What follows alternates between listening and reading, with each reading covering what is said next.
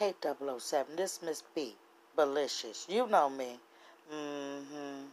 I was wondering, since Derion said, and Derion Vence, if you don't know about Maleah Davis, the five-year-old that's missing, has been missing since April the 30th. Mm-hmm. Despite what you've been hearing, I said April the 30th. Yeah, I want to know who actually murdered this baby. Yes, I'm worried about that. And some crossed my mind as I was listening to the interview. Mm-hmm.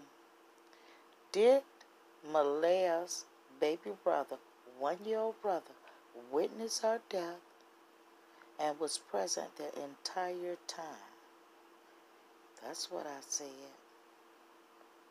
Something for you guys to think about. Listen to the video. Her parents failed her. CPS failed her. They all daycare failed her. I Um, said that. that. That so many people in her life failed her, and that, that is that is why you know her her body was tossed on the side of the road. Um, these are just really emotionally charged comments because this is an emotionally charged story.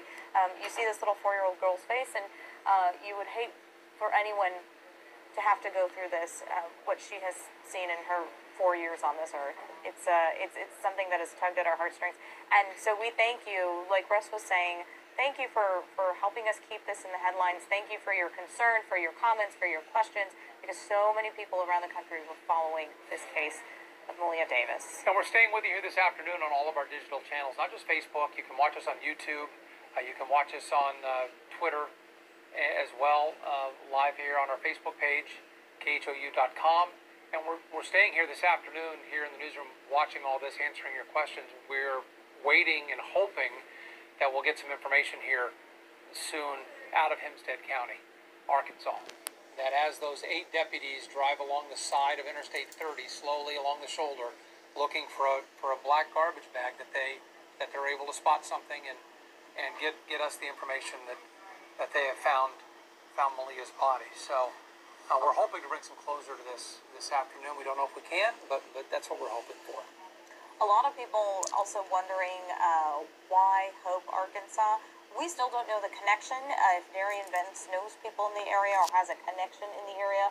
Right now, what we are thinking about is the fact that he does have family in St. Louis. I believe he had a, a custody. Um, uh, There's another child up there. uh, he has another child in St. Louis and had custody issues up there. Um, And so where it's the very mistress likely that he has made that drive from Houston to St. Louis and gone through the Arkansas area. Uh, and so that this may be not a place that he necessarily has a connection to, but an area that he is familiar with.